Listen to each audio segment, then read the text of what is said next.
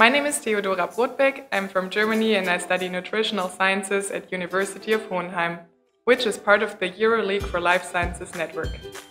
I love um, the open door policy at Lincoln University. It is very easy to talk to staff and uh, get help.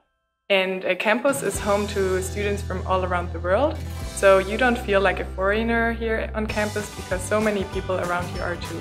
I stay on campus in a self-catered flat in Farm Road we live in uh, small houses with four people each.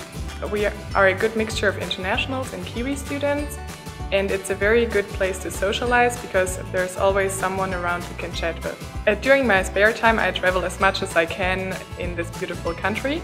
Uh, during the two-week-long Easter break, for example, I traveled around the South Island. I saw a beautiful landscape like um, Mount Cook and Lake Tekapo and also the West Coast and Milford Sound and my town highlights were Queenstown and Wanaka.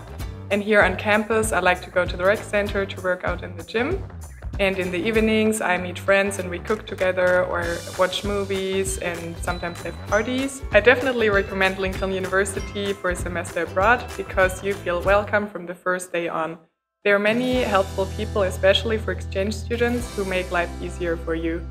Just come to Lincoln and check it out by yourself.